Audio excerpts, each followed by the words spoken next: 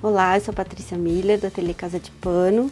Estou aqui hoje na TV Círculo para mostrar para vocês como se faz um porta-vinho, um presente super legal agora para o Natal.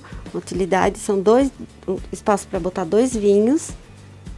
É um presente bem legal agora para presentear no Natal. Vamos aos materiais. 35 centímetros de tecido externo, 35 centímetros de tecido interno, 35 centímetros de manta policem e dois botões. Então, primeiro eu vou mostrar como é que a gente faz o molde é, para é, cortar esse porta-vinho. É, aqui ele tá no meio, esse aqui vai ser a dobra do tecido.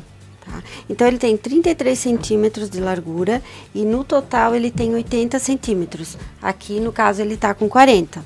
Na lateral, a gente mede 21 centímetros, marca, e corta o ângulo até o meio.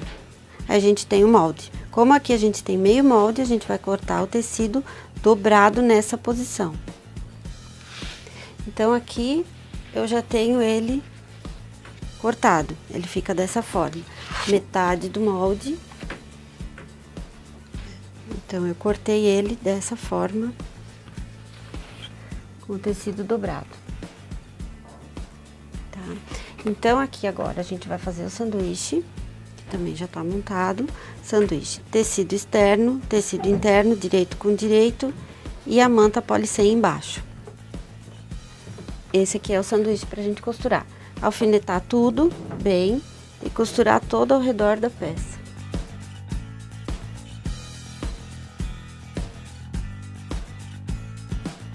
Aqui a gente deixa uma aberturinha para desvirar a peça.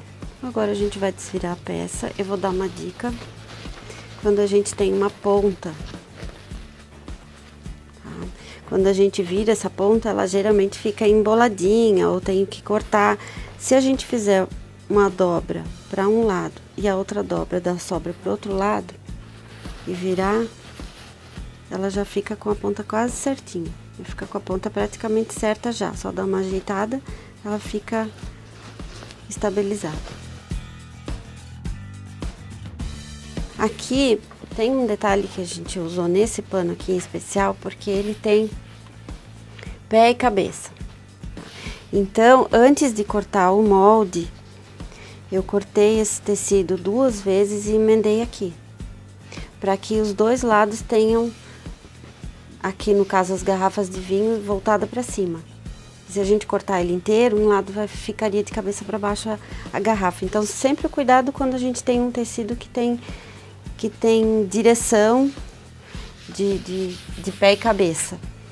Essa abertura que ficou, a gente fecha com um ponto invisível à mão, ou também pode ser usado uma cola pano.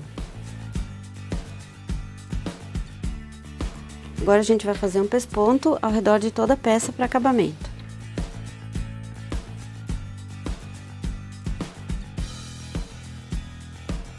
Agora a gente vai simplesmente fechar a peça.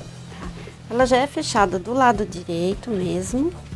Nessa parte reta, a gente passa uma costura um pouquinho mais para dentro do pesponto que a gente fez.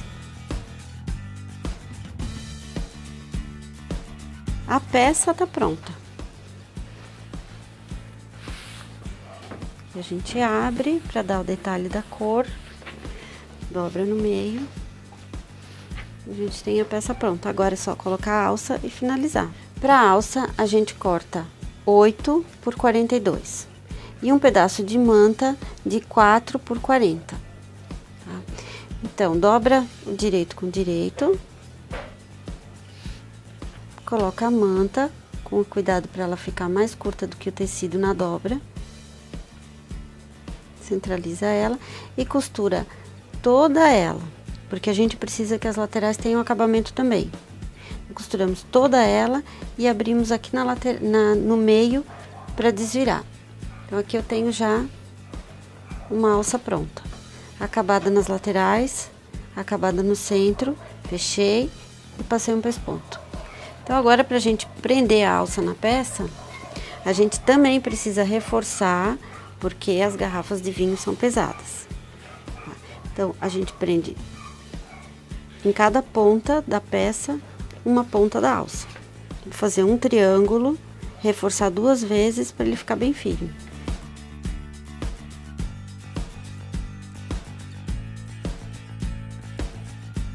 De um lado e agora o outro.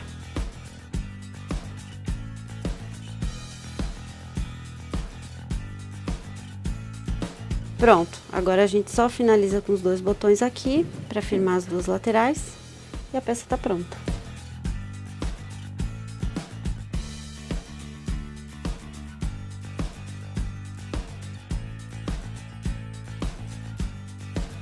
Faz um arremate por dentro para não aparecer. Fica bem acabadinha a peça. Tá pronto o nosso porta-vinho. Até a próxima!